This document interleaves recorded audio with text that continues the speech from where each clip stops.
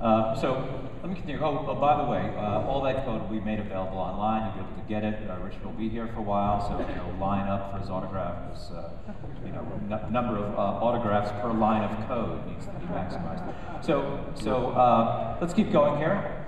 Um, you know, the world has changed enormously, and I, I know a lot of you, as I said earlier, got here through the desktop world, and we continue to support the desktop world. We equivalence our work, providing the same kind of quality and enhancement and performance work and features on both the desktop world and the mobile world. But just from a sense of scale and value and opportunity for you all, I just thought I'd you know, get to the fourth point and, and give you some calibration points. So uh, this is a, a Nokia-centric slide, as is my want here, because uh, I'm, on, I'm on the big team, and uh, it's great. So we talk about a bunch of numbers. First, let me give you one number. 175 million devices, a, an enormous number, are the number of devices that um, we have out there that are uh, capable of running Q QML, you know, all, all glass, all touch, and uh, capable of running the platform. But you know, that's a bit of a marketing number, and I want to really zoom in onto what is really your your world, the, the more important thing that you can touch.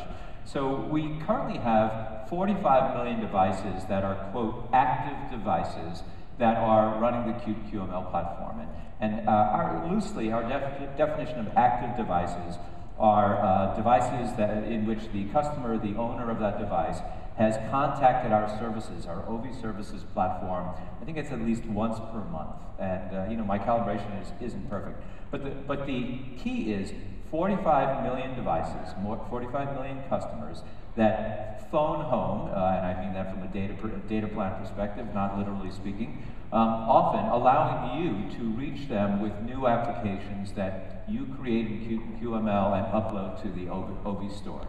In addition, we've discussed the number of about 50 million Symbian 3 devices that will be selling going forward. And so incremental to the 45 million is 50 million more devices, more people, more opportunities for you to, great, to build great applications like the one we just saw, efficiently, beautifully, quickly to, to reach all these people. So, uh, you know, Ovi is the place that you work with to uh, reach all of these people, but we're looking at 95, about 100 million, 100 million devices and customers that you can reach by being a, a Qt and QML uh, expert. In addition, we're, we're kind of, and this may get lost in translation a little bit, but we're putting our money where our, our mouths are, or our collective mouth is.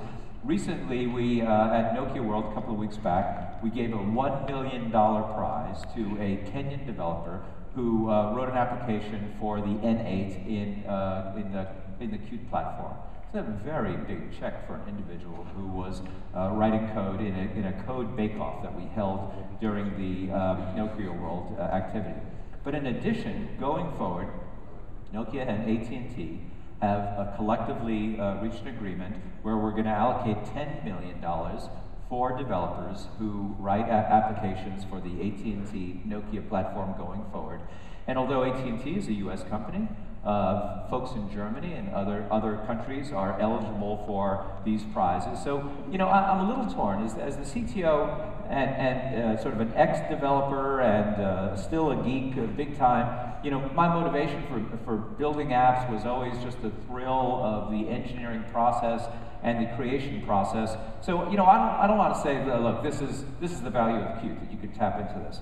But it's not bad. It's $10 million. So, so go for it. Um, so this, this is going to be made available to you. We'll be announcing the details of all this, and I suggest you try to tap into this. So to, to wrap it up, um, both Sebastian and I talked a lot about the detail of what we're doing inside Nokia with the Qt team, and Richard talked about the power of, uh, uh, of uh, QML that give you the ability to build great apps, whether it's on the desktop or mobile devices, quickly, the scale of the marketplace, of the number of individuals you reach, uh, the, you know, the, the total opportunity for you. And I, it really shows that um, we're, we're asking you to invest a lot of time and money in this effort in Qt, but so are we. So with that, let's move on and uh, get to some new, new speakers. Thanks very much.